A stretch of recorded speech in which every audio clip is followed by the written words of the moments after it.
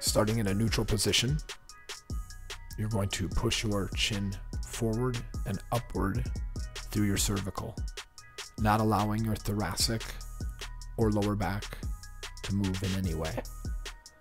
As you reach your point of extension, pull the chin backwards and up and in, and repeat that scooping motion.